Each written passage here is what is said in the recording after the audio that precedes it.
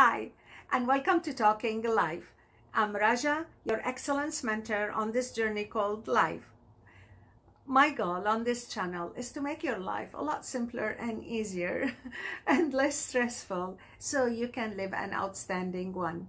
We have a lot in life to worry about, so why don't we live it in an easier way? And I'm here to do so. So today is Tip Tuesday and the tip of the day is time management.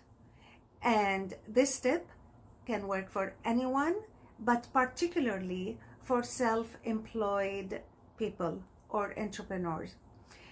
And the reason that I wanted to share this tip with you is because of a recent experience that I had myself. And then like when it happened to me, I said, oh my God, I have to talk about this on my channel and help other entrepreneurs with it. So recently, I had to schedule a meeting with a person that asked to meet with me. And what happened is that I had even to drive half an hour to go and meet with her. And after an hour meeting, I realized that oh, this was not what I was expecting, number one. And number two, there was a financial commitment to it. And the financial commitment was a lot. I'm not talking like 50 or 100 bucks. So when I finished that meeting, I came back home and I started thinking, oh my God, like I have to talk about this because when we are self-employed, you're gonna find that you are wearing so many hats. And one of the hats that you will be wearing is the marketing hat. And you have to go out, meet with others, go to networking events, and meet with a lot of people for coffee, tea, or sometimes even for lunch or dinner. And what that does at the end of the day, especially if you are just starting up or you're a small business owner, it's going to add a lot of financial stress to your life. So what I decided to do, which I totally forgot about this, like I needed to do this earlier, but it's never too late to learn anything new. And here is my tip for you. When you want to schedule a meeting with someone or someone wants to meet with you, you have to ask two questions. The first question, ask for the reason for the meeting, why they want to meet with you, and even maybe spend a minute or two asking them to elaborate. Because what happens, a lot of people, they tell you, oh, I will tell you when we meet, or oh, it's an opportunity for you, oh, you can't miss what I have to tell you. Be persistent. It's okay. You know what? it's always when we start a business, it's hard to do so. It's hard to stand up for yourself. It's hard to to be vigilant. So this is what why I'm doing this. I'm telling you this to save you a lot of heartache, a lot of time that I spent myself over the years not doing. So ask them about the meeting, what is the purpose of it and what they want from you.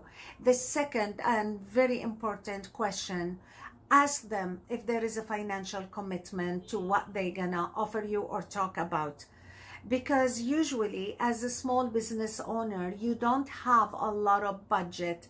Your budget is limited and you have planned it according to what you want to do and if you go unprepared or unannounced from the other person you have to pay some money for whatever service they're gonna offer you. Then one of two things is gonna happen. You're gonna either be embarrassed and you're gonna say yes which means that is gonna add more financial burden on you if you don't have room in your budget for it. A second thing is that you are gonna say no. And if you said no you may feel later guilty about it or you may feel bad because you you said no. And a lot of business entrepreneurs they go through that feeling because really they want to help others. And at times they think if i purchase this service or if i did this from this person they're gonna reciprocate and they're gonna come and do the same with me. But what happens usually is not the case. So they will not come back and purchase a service from you or a product and then you're gonna feel down you're gonna feel that you were not successful. You're setting yourself up for failure if you don't do so. So please ask those two questions and then from there you can decide if you want to meet with that person or not. And if you still have room in your budget maybe you want to meet with them see what they have to offer and then you can decide then. But you go with you knowing in your head and in your mind what's your budget that there is a financial commitment and then when you say yes or no you're gonna say it based on facts. You don't want to be surprised. You don't want to take in by surprise. You go to a meeting and all of a sudden someone tells you, oh, by the way, you have to pay this or that. All right. So this is, this is my tip for you. Uh, this tip can apply to anyone, even if you don't have a business. Time is precious and time is money. And it's time is the most precious commodity on earth you have only that much time, even though it's 24 hours in a day. So spend it wisely. And if you lose that energy, if you lose that time, you can't get it back. So think about it and God bless you. And I hope that this tip will help you in your daily life. And until I see you with another next tip, and another Tuesday. Please don't forget to subscribe. Come and say hi to me on social media and visit my website.